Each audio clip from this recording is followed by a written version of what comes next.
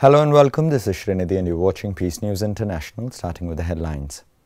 A special program across the Bridge of Stars from a human to an angel was held at St. Petersburg in Russia. B.K. Santosh addressed the gathering. A workshop was convened at the Brahmakumari's Meditation Museum in Washington, D.C. Marianne Williamson and B.K. Jena spoke on the power of trust. And Brahma Kumaris were invited at the European Union Parliament in Brussels. B.K. Payal was felicitated as ambassadors for Ayurveda.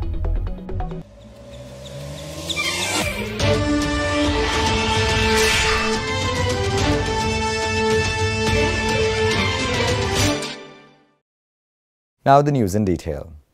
The magnetic personality of Brahma Baba, the corporeal founding father of the Brahma Kumaris, became the focal point at the festive public event Across the Bridge of Stars from a Human to an Angel, organized at the Brahma Kumaris Lighthouse Retreat Center in St. Petersburg, Russia. The audience included many dignitaries, educationalists, and artists who have been in contact with the BK Center about the milestones of Brahma Baba's spiritual journey.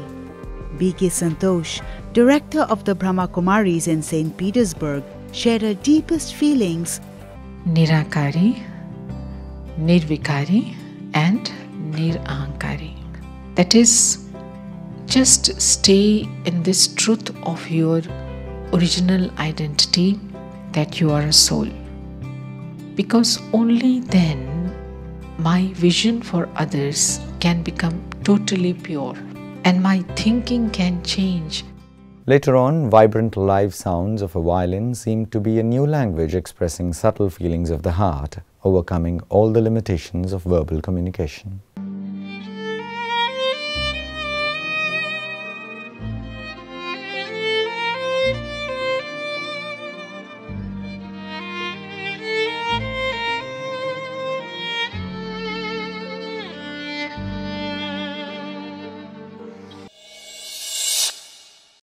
Moving on to Washington, D.C., knowing how and where to trust can be a very difficult decision.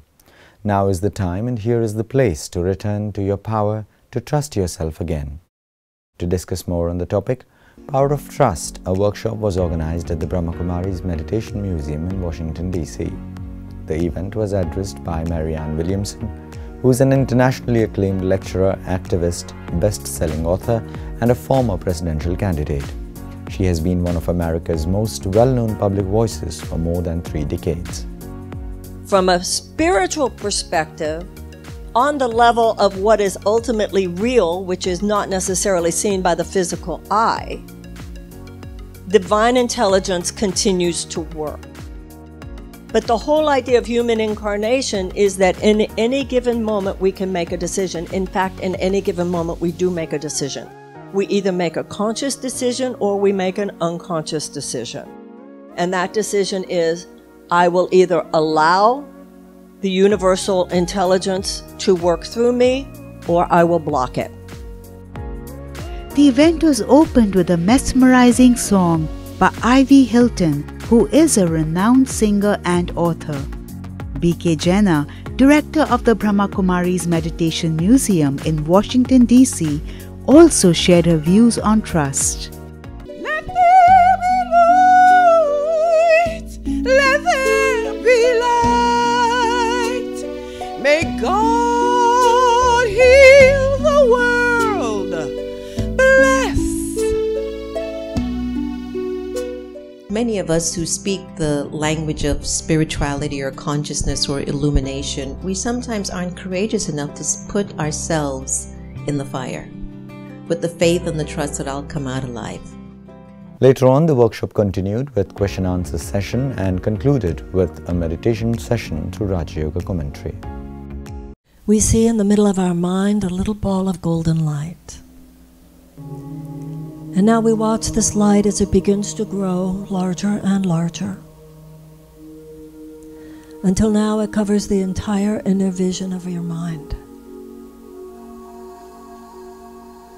And we see for ourselves within this light a beautiful temple. We see a garden that surrounds the temple and a body of water that flows through the garden.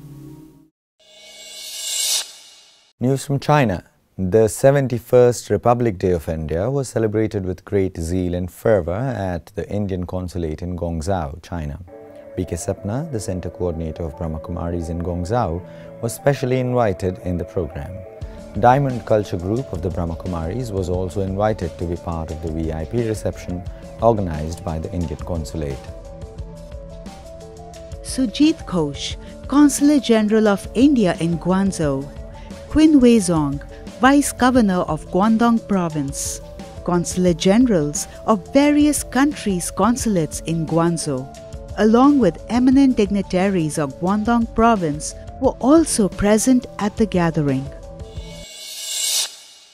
News from Belgium at the European Parliament in Brussels, Belgium, an event was organized by the UK based APPG Indian Traditional Sciences and Secretariat Amarjit S. Bhamra for marking the fourth Ayurveda Day, consecutively since its inception by Indian Prime Minister Narendra Modi.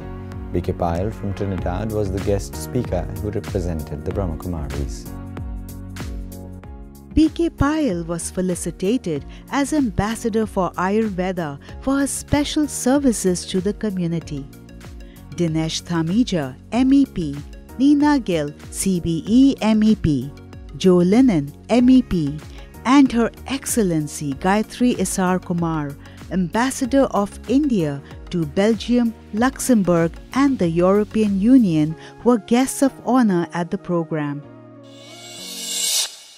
At Kolkata in India, a splendid spiritual congregation organized in Gyan Manch by the Kolkata Museum Centre on the theme Feeling God's Magic was opened with beautiful welcome performances. In this program, senior Brahmakumari sisters from India and abroad assembled and inspired people by sharing their enlightened wisdom and experiences. BK Munni, the headquarter coordinator of the Brahmakumaris from Mount Abu, graced the event.